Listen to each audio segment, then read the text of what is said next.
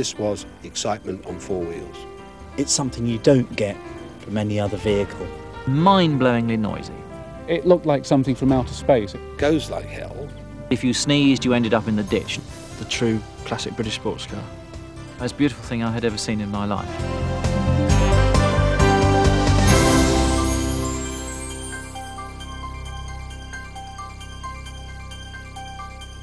Colin Chapman was Lotus. Colin Chapman founded Lotus. Colin Chapman was the dynamic behind the growth and the enormous success of Lotus. He was a first-rate engineer. I think he'll go down in history as as great an engineer as Brunel. Some will argue it's a shame that he got involved with motor cars because the Concorde would have been a better aircraft if he'd been on the design team. Well, he first got into motor cars trying to supplement his um, inadequate uh, college grant by buying and selling used cars. Then he decided that he would try racing one, and he did rather well in it because he was a crazy fast driver. Well, the Mark 1, the Mark 2 and the Mark 3 were basically home-built cars in a garage, and then he went on, he never built a Mark 5. The Mark 5 was always, that Mark was reserved one day for a 100 mile an hour Austin 7 car. But then the 6 was the, the, the forerunner of the 7, and the 7 itself was where we, Lotus got into volume.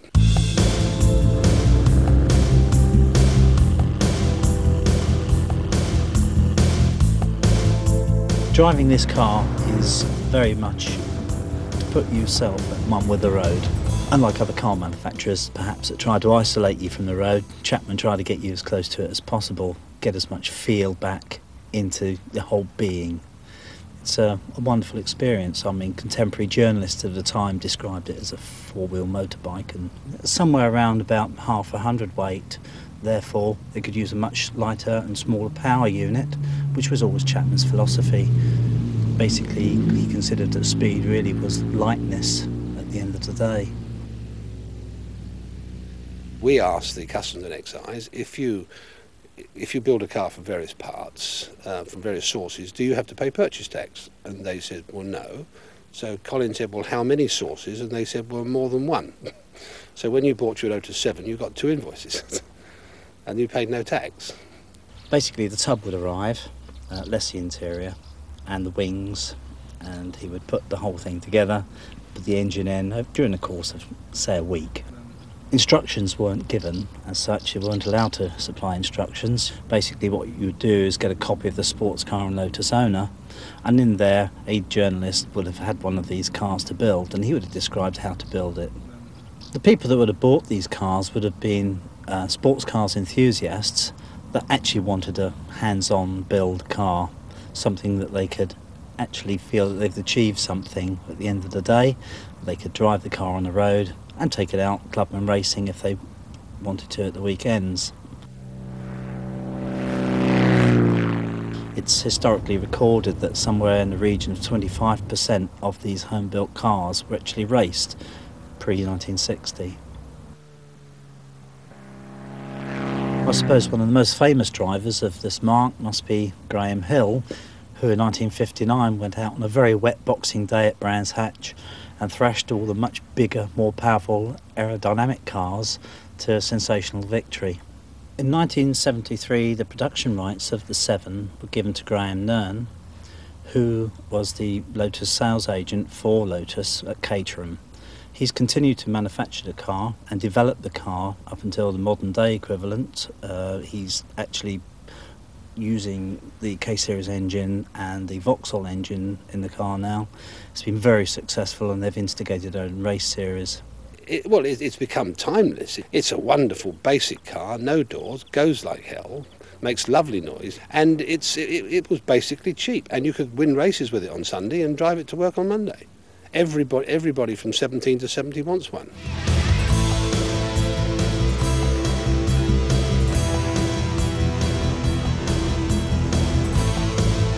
It's brilliant. I love it. I love it to drive. When you drive it, it's exciting. It raises your adrenaline. It makes you feel part of the road, part of the whole thing of driving. It's just like nothing else. Well, with the seven paying the rent, Chapman could now do what he wanted to do, and that was to develop new technologies. And he obviously wanted to get rid of the chassis. And the way to get rid of the chassis was to design a monocoque fiberglass, and that was quite an innovation, fiberglass body shell, put a lightweight, high-powered engine in it, put top-class Lotus suspension in it, and then build a car that was aesthetically beautiful.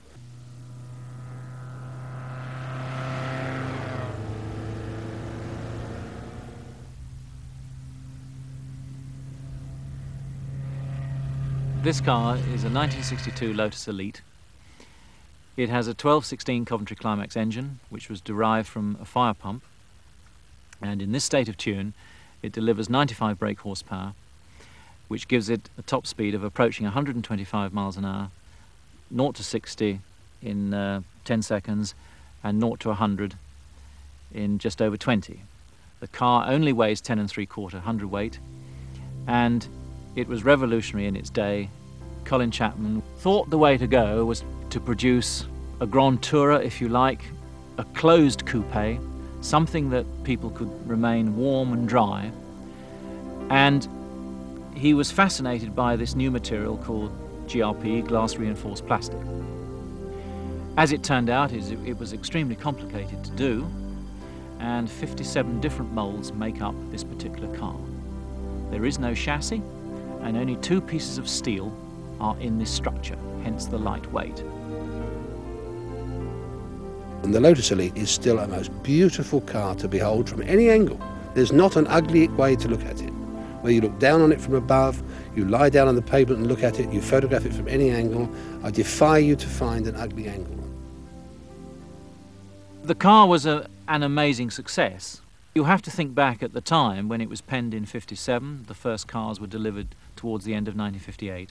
You had the choice of an MGA or a TR3, big, heavy, ponderous cars.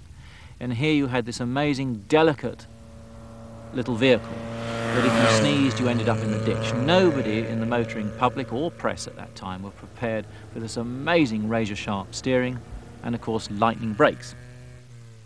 Lotus marketing has always been fairly simple. Right from the start, perhaps when Colin Chapman had very little money, he wouldn't want to market through advertising, taking space in magazines, producing expensive brochures. When they were more successful and perhaps had the money to market, they didn't need to. Their racing successes provided the advertising, and Chapman, I think, traditionally didn't provide materials, resources, archives. He wasn't concerned with that sort of thing. Certainly, early Lotus material is very factual. It gives a simple picture, simple specifications, and text. If you wanted a Lotus, you had the common sense to work out what pedigree it had got, the common sense to work out that it was fast. You weren't told anything in Lotus material, and you certainly weren't impressed by Lotus material. You were impressed by Lotus cars. Driving an elite today where we're all cocooned in, in completely hush-hush Vauxhall Cavaliers and the like, this is mind-blowingly noisy. As it doesn't have a separate chassis, the little cabin area acts as a soundbox. So you have absolutely everything coming into your ears. You have the rear suspension thumping away, you have the prop shaft two inches from your knee, the gearbox is two inches from your shins. Everything is sitting in there with you. The fuel consumption knocks the spots of virtually every car known to man today and regularly returns over 45 to the gallon at 90 miles an hour. I first saw the Elite at the 1957 Motor Show. Uh, I was nine years old at the time and I thought it was the most beautiful thing I had ever seen in my life and I still do.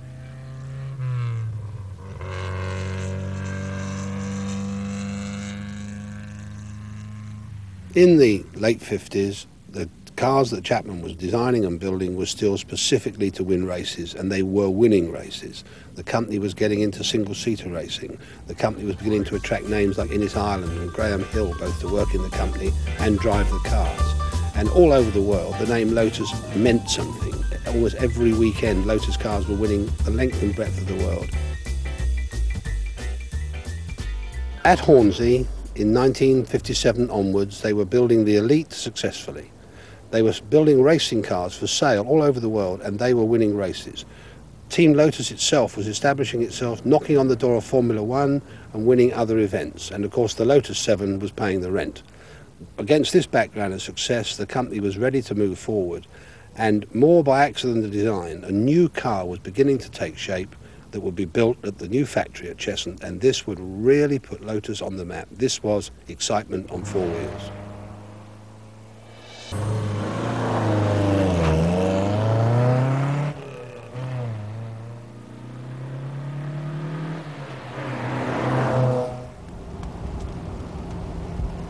This car is a Lotus Elan S2 built in 1965. Uh, it was bought in that year as a kit of parts, uh, which was a service offered by Lotus in an effort to avoid purchase tax. You could either opt for the kits or you could buy a ready assembled car. Uh, this one was assembled by the local distributor uh, and has been in the family ever since.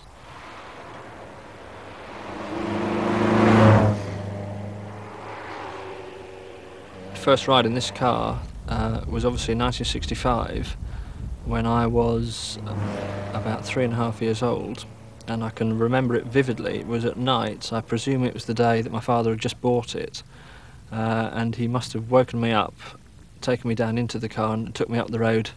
I was actually sitting on the transmission tunnel uh, and I can remember the, the exhilaration and the speed, it seemed uh, a different world to me. That has stuck in my mind ever since. The Elan rose out of the ashes, really, of the, the Lotus Elites. After about a thousand Elites had been produced, Chapman went back to the drawing board, and the result was the Elan. Chapman wanted the concept of, of, of chassis-less construction to continue into the Elan. Ron Hickman, the design and development director, wanted to test all the rolling components of the vehicle. So one night at a dinner, Chapman and Hickman designed a one-off test bed chassis by it was called the fold along the dotted line chassis. They actually mocked it up uh, on, on, on, the menu card, like these things you cut out of a Kellogg's cornflake packet. But that chassis proved to be so good, so docile, gave the car such enormous handling, and proved so cheap to make that from that day on, we at Lotus adopted the back, backbone chassis concept.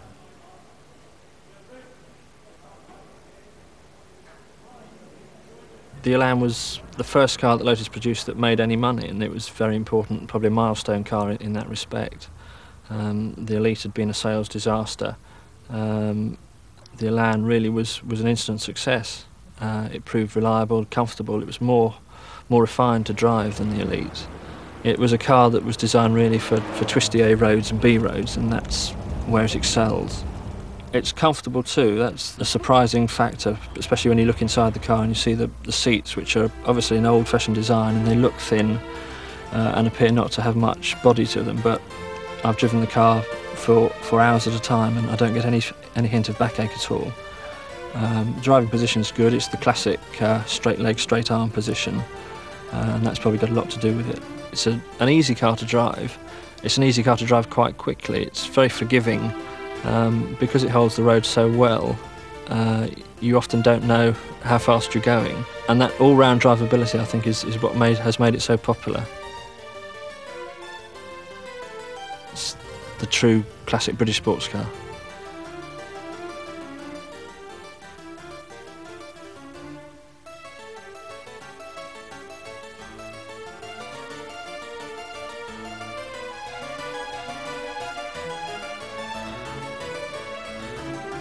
By 1965-66, Lotus were in a, an expansion requirement in every possible area. We needed to build more factories. We couldn't get an industrial development certificate to expand in the existing location. And also we wanted a test track. We've been using the A10 for testing racing cars and road cars for years, and the residents and the police were getting a bit fed up. We were in a sort of um, unionised labour sandwich with uh, Luton just up the road and Dagenham just down the road. Both make manufacturing cars. And of course, our employees knew what was being paid on the production lines and the overtime, and we couldn't meet those figures. And we'd also lose labour to Dagenham and Vauxhall when they really were recruiting heavily. And the other thing was, we were dead set against any form of union in the factory. We had enough problems when our suppliers went on strike. And for Chapman, the idea that our own employees might go on strike was absolutely out of the question. He went on record as saying, if this company comes unionised, I will shut it down.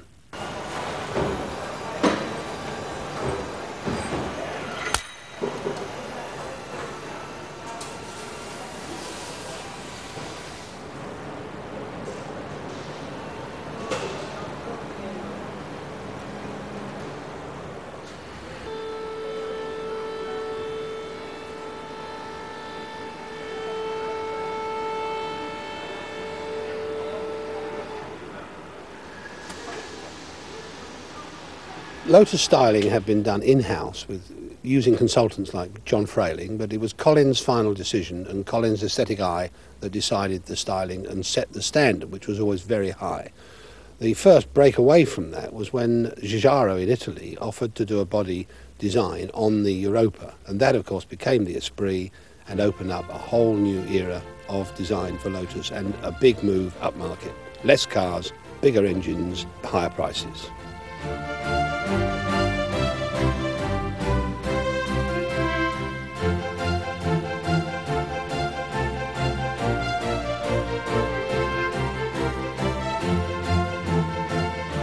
Lotus made the Esprit, I think, to capture the Ferrari market. They wanted basically an Italian car design, which they had in Giugiaro, and people wanted something which was a match for the Ferrari.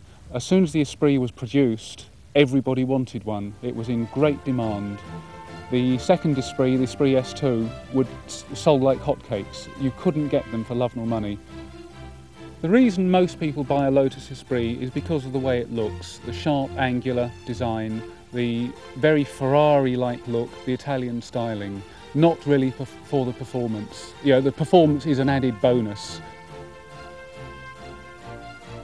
When we decided to turbocharge the Esprit, when Chapman said it had got to be done, he bought nearly everything with a turbocharger, including two aeroplanes, and they were all studied. And the car was totally re-engineered to take a turbocharger. He didn't just uh, hang one on the engine and see how it would go. So he was always pushing ahead. Everything had to be better and better and better.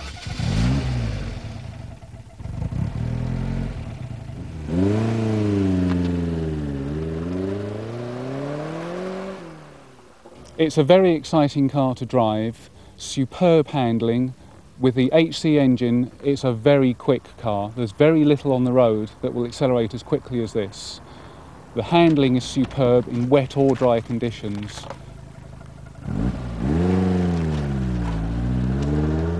Being a mid-engine car, everything is in the right place. The fuel tanks are each side of the engine. Most of the weight is inside the wheels. That's to say that there's very little overhang at each end. So it makes it a very enjoyable car to drive, very exciting car to drive. A little bit twitchy on the limit because it's mid-engined, but most owners never find the limit.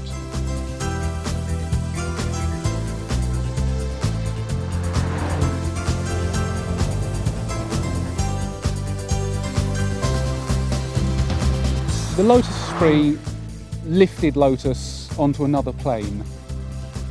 Suddenly, they, they lost their kit car image.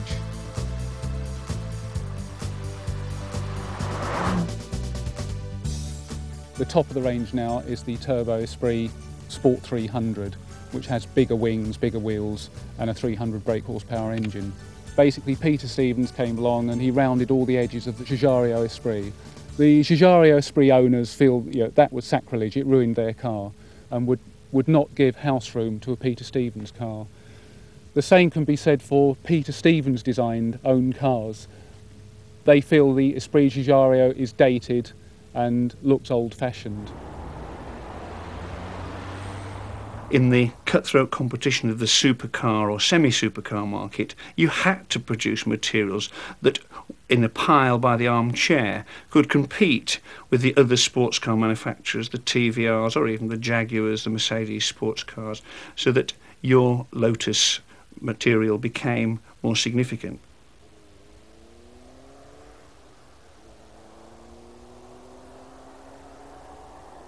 I first saw an Esprit at the 1975 Motor Show, which was a, a white S1 Esprit with a gleaming Wolfrace wheels. And it looked like something from outer space. It was just absolutely amazing. Nobody had ever seen one. There was never been another car like it. And it was so futuristic. And I thought, well, you know, I've got to own one of these, but I never ever thought I would. The, the very word Lotus evolves all sorts of feelings inside. The, the Lotus is more than just a car. It, it's a hobby. It's it's great fun to drive. It for me, it's my whole life. You know, everything I do is is all around Lotus cars. From the mid 70s, the British motor industry was having a very bad time indeed. In fact, all luxury markets were really badly hit, and Lotus were particularly badly hit. I wouldn't say the quality of the product was particularly good, so of course you missed out on brand loyalty. Not many Lotus buyers were selling a car and buying another one. So that was that was a problem. Chapman was not doing well in Grand Prix racing, and as that was his number one love, it's possible that too much time was being devoted to trying to recover the reputation of the racing team.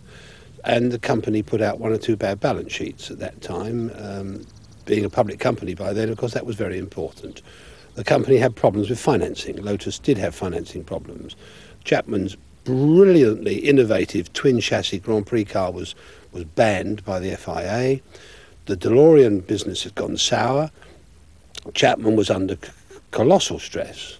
And he came home in December 1982 from a sad meeting in Paris and died. When Chapman died in 1982, it was a devastating blow for the company because he was such an inspirational leader to the company and to all the people in the company and to our customers worldwide that we all had to, we all were rocked back on our feet and we just wondered which way the company was going to go. And it took quite a long time for the spirit of Lotus to really get back up again and get the company back going full speed.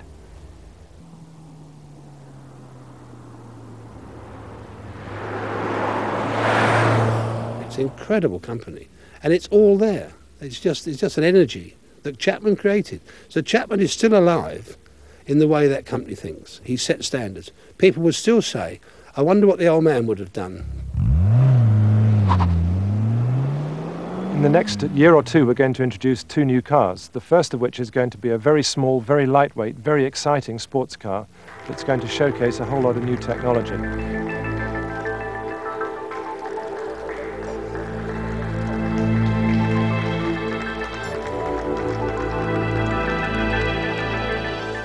It's really going to be following the classic Lotus philosophy of lightweight, simplicity, elegance, and huge driver fun. But it's going to, as I say, really look forward into the future, looking to 10 years ahead in terms of manufacturing technology. The other new product that's on the way is a new engine for the Esprit, which is going to carry us forward quite considerably. Colin Chapman was passionate about cars, passionate about engineering, and passionate about competition. He wanted to be the best in motorsport. He wanted to produce the most exciting sports cars that the world had ever seen. And I like to think that the people that we've got here today and the visions that we've got for the future will see us doing exactly those things.